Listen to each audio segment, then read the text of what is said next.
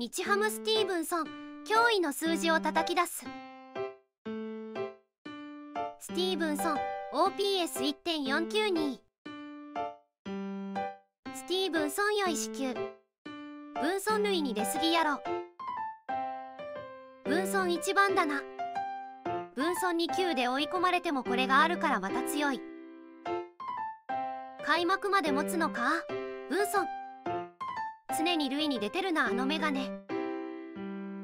スティーブンソンはリードでかいな。よほど気類の自信あるんだな。レイエースもフルカンから我慢できるのいいな。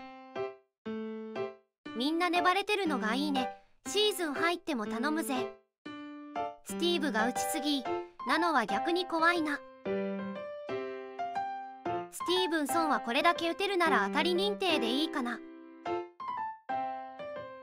日ハムを中心に動画をまとめていきます。よろしければチャンネル登録高評価よろしくお願いします。